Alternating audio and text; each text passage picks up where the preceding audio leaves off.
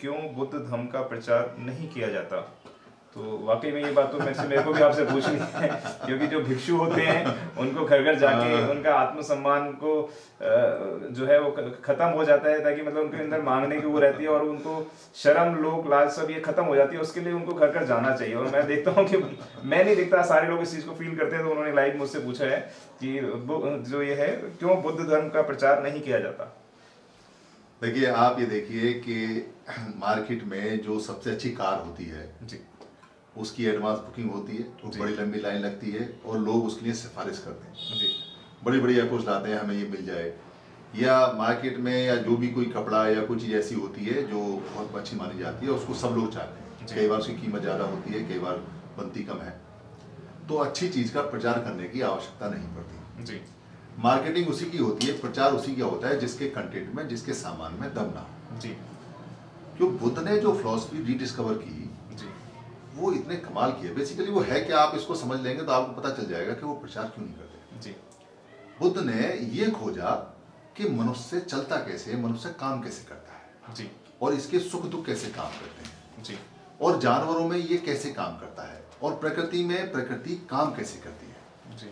ये चीज़ इतने कमाल की उस समय की थी क्योंकि उन्होंने जो छह साल तक लगातार घर छोड़ने के बाद उनतीस साल से लेकर और पैंतीस साल तक जो अध्ययन किया वो उन्होंने सारे सारे जितने आश्रम गुरुकुल या जो वहाँ टीचिंग के स्थान होते थे तब अक्षर तो होते नहीं थे कागज़ पेन भी नहीं होते थे कोई कलम भी नहीं होती थी सिर्फ़ लोग अपना एक्सपीरियंस शेयर करते थे। तो वहाँ के जो टीचर्स थे जिन्होंने आश्रम बनाए हुए थे जगह जगह और जिनके पास स्टूडेंट थे उन्होंने वहाँ छह साल तक अध्ययन करने के बाद में उन्होंने कहा कि भाई गुरु जी या टीचर या जो भी मास्टर आप पढ़ा रहे हैं मेरा जो क्वेश्चन था जिसके लिए मैं आया था कि मेरा दुख दूर हो दुख का कारण मिले कारण का निवारण मिले निवारण का रास्ता मिले और मेरा दुख दूर होना चाहिए तो मुझे पता चले मगर ऐसा तो हुआ नहीं। आपने मुझे खूब मन से पढ़ाया और जो आपने पढ़ाया मैं सारा सीखा।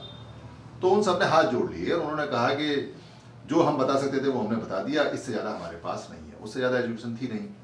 तब बुद्ध ने कहा कि कोई कारण तो होगा। ऐसा सोच के उन्होंने खुद ही मेहनत की और स्वयं किया। बॉडी में अपने माइंड में।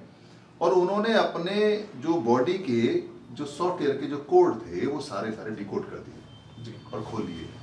तब उनको ये पता चला कि कैसे क्या बोलते शरीर काम करता है और कैसे मन काम करता है और कैसे ये जीव काम करते हैं।